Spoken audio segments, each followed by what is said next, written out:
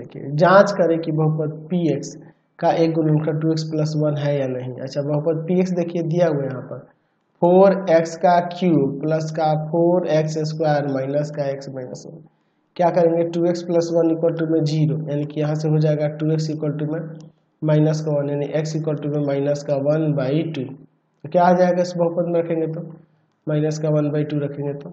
Four into में minus का one by two का क्यूब प्लस में फोर इंटू में माइनस का वन बाई टू का स्क्वायर, माइनस माइनस का वन बाई टू और माइनस का वन। यही ना दिया है जी। तो फोर इंटू में माइनस का वन बाई एट, प्लस का फोर इंटू में वन बाई फोर, प्लस का वन बाई टू और फिर यहाँ माइनस वन। देखिए यहाँ पर, ये वन बाई टू हो जाएगा।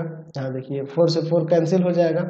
चलिए देखते हैं। माइनस का वन बाई टू, प्लस का वन प्लस का वन बाई टू माइनस का वन। तो यहाँ से सब ज़ीरो हो जाएगा ना, ये इससे कैंसिल ये इससे कैंसिल ज़ीरो हो गया।